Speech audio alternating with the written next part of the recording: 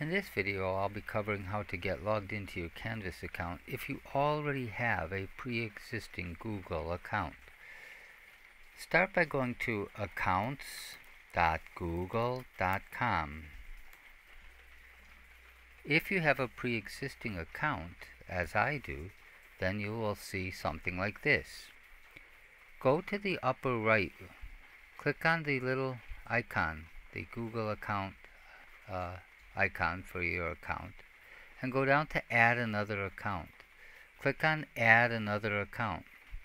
Put in your College MyShark username, the front part of your email address. The next part is the same, but here's the new part, .edu.fm. The .edu.fm is the new part. Click on next. Use your MyShark password.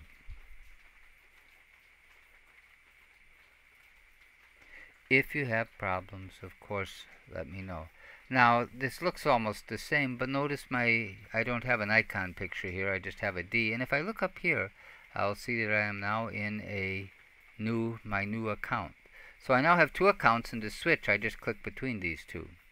That gets me into the College Workspace, and this is what logs me into Canvas. I'll open up a new tab here, and I'll put in uh, comfsm.instructure Canvas.com. This is one of the two ways to get into Canvas. Canvas is owned by Instructure. That's the company that owns it. And that will get you into your dashboard. If you don't want to try it that way, you can also go to comfsm.fm.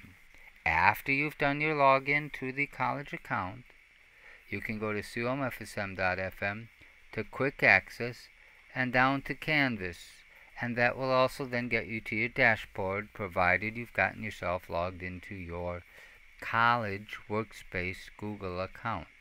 Uh, so you really have two new things. You have Canvas, which is where your courses will be, and you have a college workspace account, which will look similar but will have some new icons that you might not have seen in your own personal account. There are some differences between the two. That said, your dashboard may or may not have courses on it uh, because you, uh, you're just getting uh, uh, logged in for the first time and your faculty may not have yet published their courses. Um, if all goes well, you should have a student guide at some point and you will see once your faculty publish your courses, you'll see your courses appear here in Canvas as well. That'll get you logged in uh, and get you started on Canvas. Thank you for watching.